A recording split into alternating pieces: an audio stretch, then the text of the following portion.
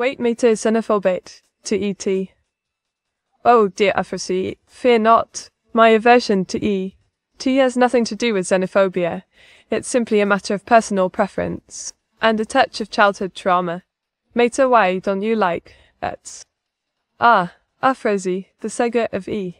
T and I is a tale best left for another time.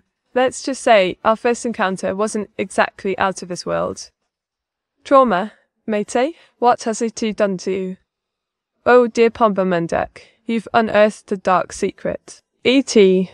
ate my last Jaffa cake. The horror, the betrayal, the lack of biscuit etiquette.